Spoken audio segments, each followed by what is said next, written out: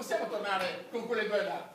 Se quelle gentili signore sono le vostre legittime consorti, temo proprio di sì. Ma certo che siamo le loro Con tanto di certificato matrimoniale. Allora temo proprio che dovrete tornare da loro.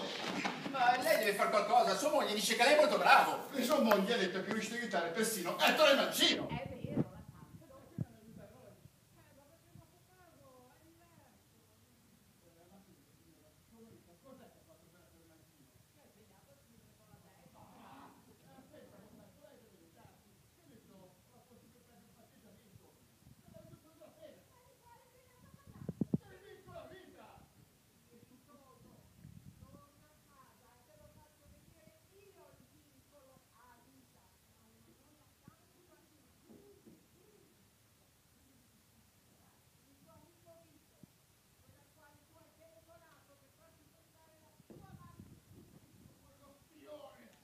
la santo.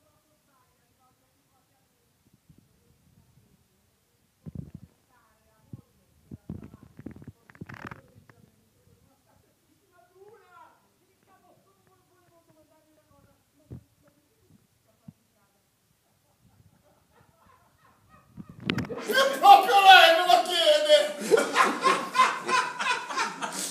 Perché? Che, che vuol dire?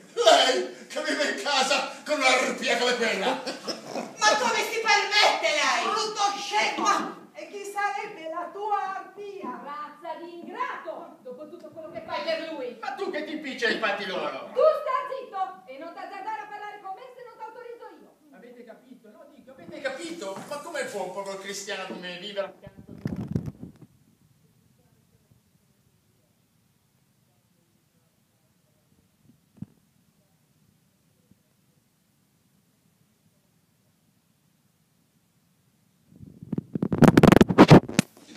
porta le pantofole. mia moglie, ringhia. Davvero carino lui. Così io ringhio. E mordi! Mordere il proprio marito! Ma è disumano! Obiezione! E che c'entra l'abolizione adesso? Lei, avvocato, non può permettersi di dare giudizi, che sono delle pure e semplici opinioni personali, per di più gratuite. E perché vorrebbe dire che mordere il proprio marito è una cosa normale? Non solo normale, ma può essere addirittura un gesto di grande affetto. Questa poi... Vede, avvocato, c'è morso e morso. Ma che sta dicendo? Se un cane muove la coda,